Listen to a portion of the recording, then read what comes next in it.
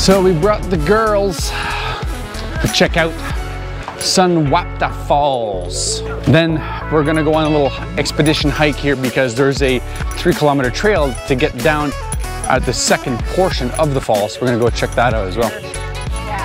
A tree chair. Is it comfy? That's okay. What you'd expect from a tree Should we go check out these first?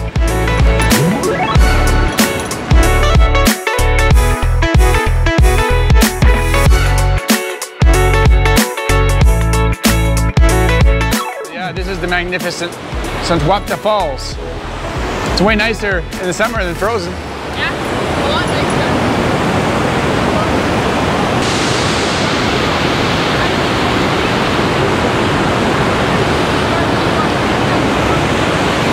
So we made it to the base of the waterfall here. It's crazy. These uh, stones here are very, very slick. Uh, there's a lot of water that have eroded over top of here. This might have been part of the river at some point. But yeah, this is dry and it's still super slick.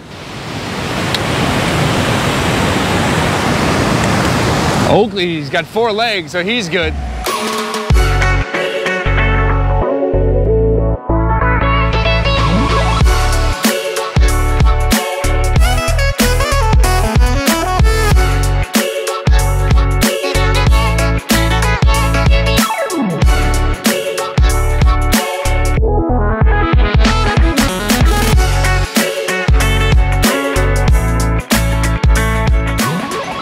We're at the bottom finally of Sunwapta Falls.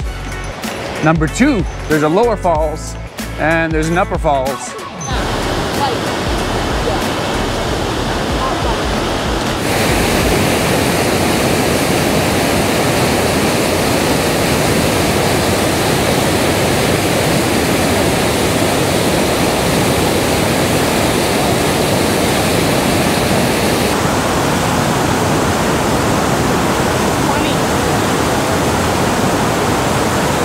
Yeah, 20 year old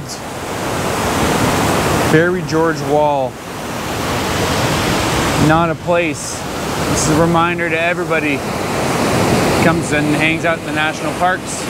Doesn't have to be a national park. Waterfalls are not a thing to miss. This is another little stepping stone of the Sunwapta Falls here. It's got like a, a crazy pool and then another little second tier waterfall. Uh, I'm not gonna get that far to the edge here, but uh,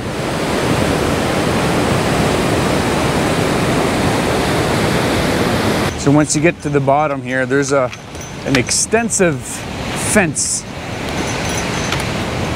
system. There's an extensive fencing system built over here to stop people from, you know, getting too close to the edge of the falls. But it makes for a nice little trail. Uh, this is not my true definition of a hike. It's more of a, it's a highly trafficked path.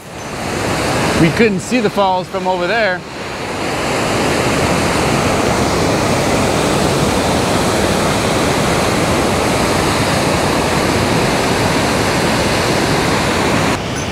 We keep finding more and more waterfalls here.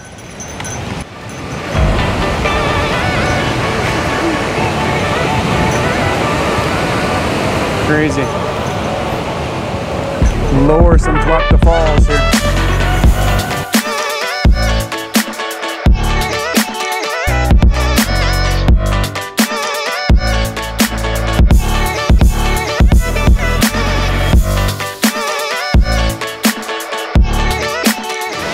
So once you get to the bottom of the hike, then you get to uh, a little short, a little short but steep little bit in behind me here, where you can get right to the side of the, uh, my guess is this is called the Sunwapta River.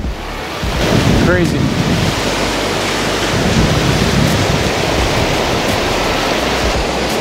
Sunwapta River. This is the torrential strength of glacial fed rivers. Like, I have swam 10,000 kilometers in my swimming career as a young kid. And yeah, six kilometers an hour is an elite swimmer. And this will carry you. It doesn't matter how good of a swimmer you are. Uh, and this is more than enough water to drown someone. Have to be super careful. Well, I hope that everybody got out on May long weekend to explore anything. Explore your city, explore your town, explore your county, explore your province, explore your provincial park, explore your national park. Just get out and do something. It's good for the heart, it's good for the soul, it's good for all of us during this pandemic time to get out and get some fresh air. Sunwapta Falls, guys. I like it. It's gorgeous. Definitely we'll be back. Peace.